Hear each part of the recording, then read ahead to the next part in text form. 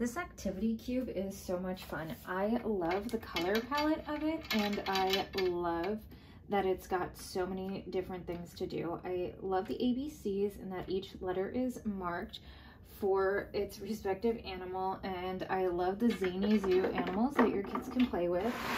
On this side, I love that kids can open and shut doors.